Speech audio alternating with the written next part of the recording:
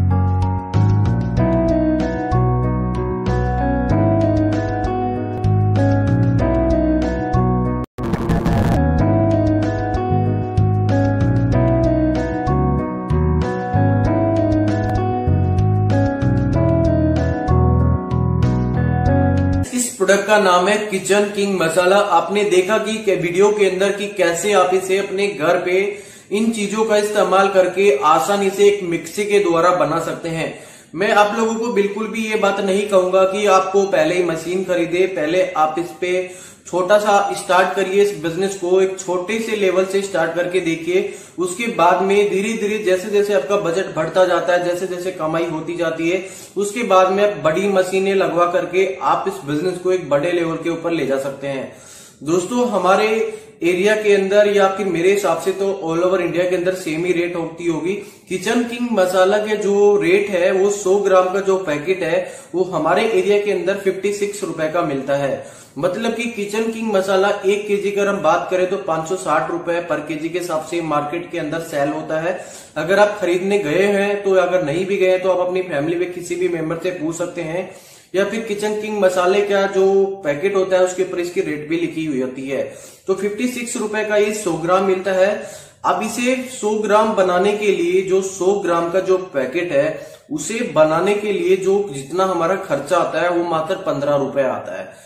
इसके अलावा अगर हम इसका बिज़नेस शुरू करते हैं तो आपको 100 ग्राम किचन किंग मसाला जो बनाते हैं, उसकी पैकेजिंग वगैरह सारी चीज़ें करते हैं तो आपका पंद्रह रुपए का खर्चा आता है। अगर आप इसे होलसेल रेट में किसी भी शॉपकीपर को बेचते हैं तो पाँच रुपए कमीशन आप उस बंदे को भी एक पैकेट के ऊपर दे सकते हैं।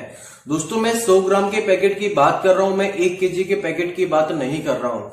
तो सिंपली अगर हम इसे मार्केट में सेल करेंगे पैकेजिंग वगैरह करके तो आप अपने जो लोकल एरिया की सोप है, आपको सिर्फ़ 100 दुकानें चूज़ करनी है। 100 परचून की सोप आपको आसानी से एक गाँव के अंदर ही आपको कम से कम 30 से 40 दुकानें मिल जाती हैं। तो अब 100 दुकानें कोई बड़ी बात नहीं है। एक दुकान पे सिर्फ़ आपको स्टार्टिंग में एक ही पैकेट देना है और उनको यही बोलना है कि, सर, एक बार आप यूज़ करके देखिए या फिर किसी भी ग्राहक को देकर के देखिए। अगर प्रोडक्ट में किसी भी प्रकार की कमी आती है तो मैं आपके सारे पैसे रिटर्न कर दूँगा।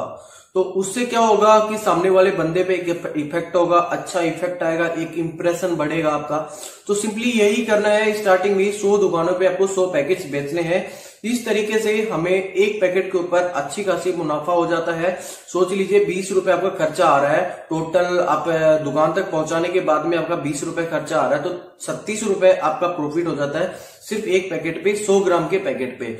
इस तरीके से अगर हम एक दिन के अंदर एक दुकान पे एक पैकेट तो बिक ही सकता है, ये तो आप भी सोच सकते हैं। मैं कोई दस पैकेट की बात नहीं कर रहा हूँ, सिर्फ़ एक ही पैकेट की बात कर रहा हूँ। एक दुकान पे एक पैकेट आसानी से एक दिन के अंदर बिक जाता है। तो इस तरीके से अगर हम एक दिन के अंदर 100 पैकेट की डिलीवरी भी करते हैं 100 ग्राम के पैकेट्स की तो भाई छत्तीस सौ रुपए का मुनाफा हमें इस बिज़नेस से आसानी से हो जाता है। तो आपको सिंपली ना ही किसी ऑनलाइन साइट पे जाना है, ना कहीं और जाने की ज़रूरत है। आप सिर्फ़ अपने लोकल एरिया के अंदर ही इसकी शुरुआत कर सकते हैं। जब आपको लगता है कि सच में मेरे प्रोडक्ट की डिमांड बढ़ रही है तो उस टाइम आप जहाँ पर एक प्रोडक्ट दे रहे हैं, वहाँ पे दो प्रोडक्ट दे सकते हैं और जिस दुकानों पे आप जा चुके हैं तो इसके अलावा और दुकानें भी चूज़ कर सकते हैं। तो धीरे धीरे आपका जो बिज़नेस है, आपके लोकल एरिया के अंदर बढ़ जाता है। आप एक अच्छा सा ब्रांड का नाम चूज़ कर सकते हैं, अच्छी सी थोड़ी इसकी पैकेजिंग कर सकते हैं। उसके बाद में धीरे धीरे अपने एरिया वाइज आप इसे धीरे धीरे एक स्टेट लेवल के ऊपर ले जा सकते हैं और अच्छी खासी इनकम आप यहाँ से कर सकते हैं। सबसे पहले आपको सिर्फ़ एक सब डिस्ट्रिक्ट चूज़ करना है, उसके बाद में आपको डिस्ट्रिक्ट चूज़ करना है, उसके बाद में आपको अपना स्टेट चूज़ करना है। ठीक है? इस तरीके से आपको इस बिज़नेस को शुरुआत करनी पड़ेगी। आप सच में इस बिज़नेस को करके देखिए, आपको अच्छी खासी कमाई इस बिज़नेस के अंदर हो सकती है।